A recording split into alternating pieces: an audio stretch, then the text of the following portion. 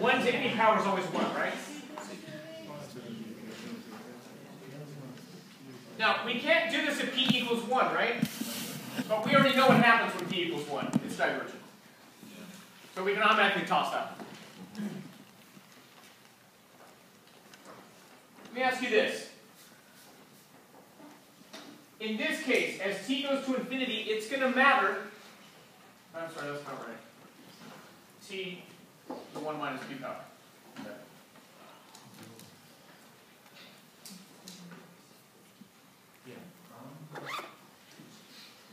I don't know what that other one will.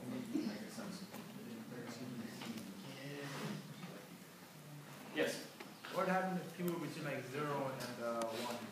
we'll talk about that.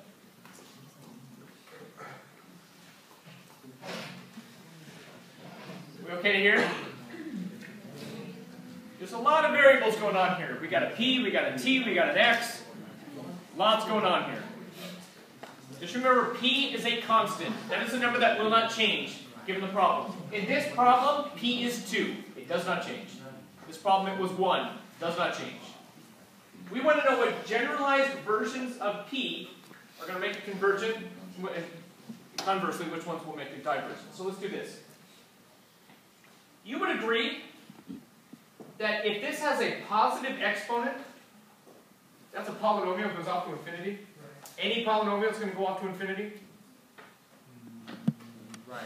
As this gets huge, if that's t to the second power, that's parabola, right? Right. Third power, it's still going. Fourth power, it's still going. They're all going out to infinity. It's divergent. If this exponent overall is a negative exponent, you agree it's going to drop down to the denominator and that limit will go to zero. To any power. So basically, uh, 1 minus p, we want it to be less than 0. If it's less than 0, it's going to drop down to the denominator. Does that make sense? For it to be convergent. Because then that limit, will- the whole thing will go to 0.